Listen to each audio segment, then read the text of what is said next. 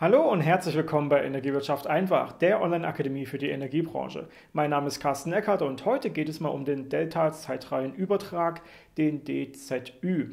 Ein Begriff, der vielen vielleicht nicht ganz so bekannt ist, der aber extrem relevant und wichtig ist, denn schlussendlich alles, was wir entlang der Abrechnung und Bilanzierung so tun, mündet im DZÜ. Also das ist fast schon die Ende der Kette, wenn es darum geht, was wir überhaupt so in der Energiewirtschaft machen. Und deswegen möchte ich das heute mal ein bisschen zusammenfassen. Wenn ihr euch noch gar nicht mit dem Thema Marbis und Co. beschäftigt habt, dann solltet ihr vielleicht erstmal mit dem Video in unserem Kanal anfangen mit dem Titel Summenzeitreihen und Clearinglisten. Das ist eine ganz gute Grundlage für das, was wir jetzt besprechen, denn darin geht es unter anderem darum, dass wir ja Energiemengen in irgendwelchen Formen herumschicken und damit dann ja auch Dinge tun, um das möglichst gut zuzuordnen. Und was ist dann der DZÜ ganz am Ende? Der DZÜ enthält schlussendlich alle Energiemengen, die bis nach der Clearingfrist nicht korrekt zugeordnet werden konnten. Also die Energiemengen, die praktisch irgendwo noch übrig sind nach dem Clearing. Das ist der DZÜ. Aber fangen wir mal damit an, wie wir dorthin kommen. Also, wir würden ja in der Energiewirtschaft ständig irgendwo Energiemengen prognostizieren, zum Beispiel indem wir die Jahresverbrauchsprognose von dem Kunden zusammen mit dem Stand-Lastprofil anwenden. Dann können wir eben sagen, in folgender Viertelstunde wird er wahrscheinlich folgende Energiemenge in etwa verbrauchen. Dann messen wir irgendwann mal die Energiemengen, die Zählerstände oder dann in Zukunft die Zählerstandsgänge über die Smart Meter. Und dann schicken wir die so hin und her an die verschiedenen Marktpartner über zum Beispiel Zeitreihen und Summzeitreihen. Und schlussendlich müssen wir dann auch irgendwie noch in die Abrechnung kommen. Also Energiedatenmanagement, Bilanzierung, Abrechnung. So. Was ist jetzt aber, wenn dort einfach mal Unstimmigkeiten aufkommen?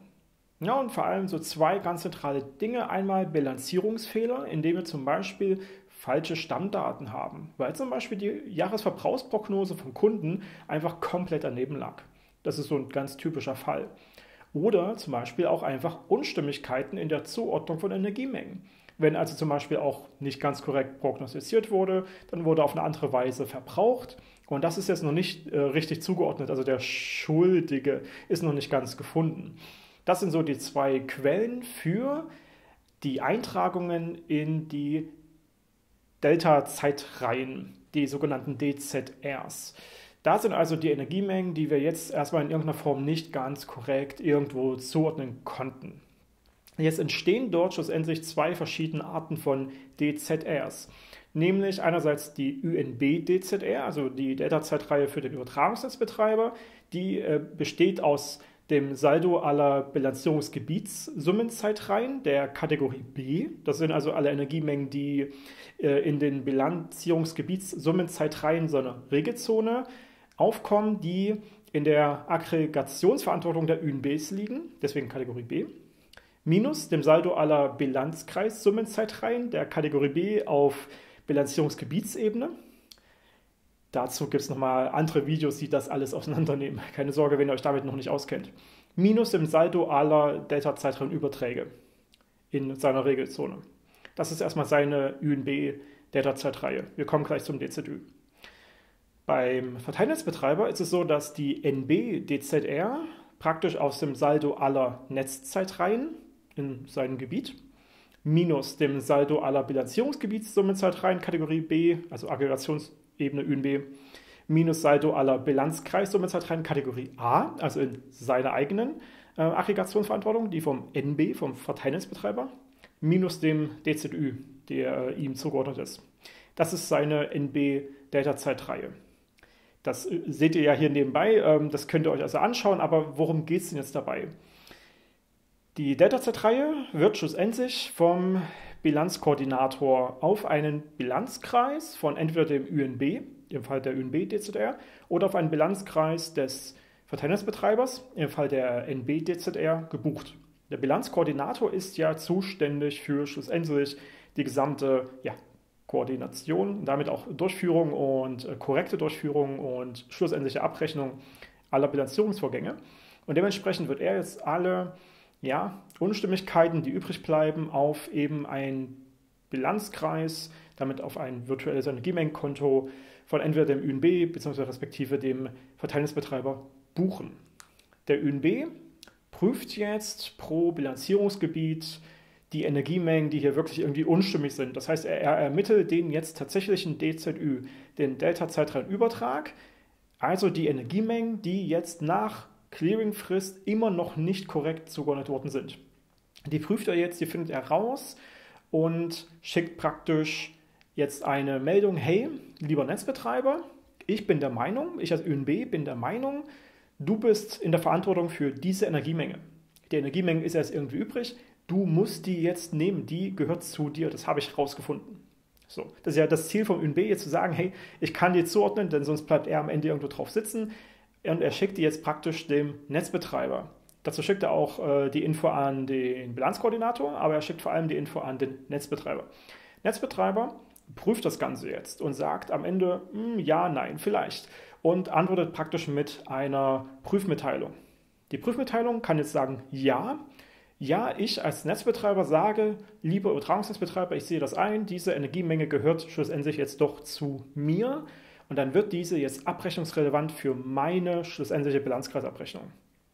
Ähm, das heißt, der Netzbetreiber übernimmt dann praktisch die Verantwortung für diese Energiemengen und muss da schlussendlich irgendwo auch Kosten dafür tragen.